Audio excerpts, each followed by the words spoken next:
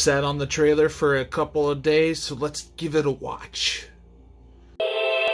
家族はいない。友達も。生きることは辛いだけでこの先希望も何にもない。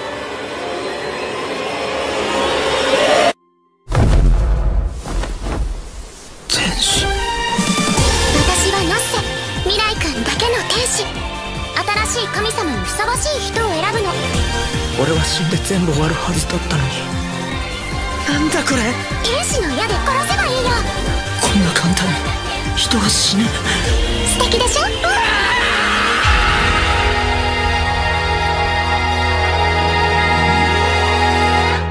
私は未来君を幸せにするために来た So I know a lot of people are divided when it comes to the manga. Uh, some people think it's good, some people think it's bad, some people like it up till a certain point, and so on.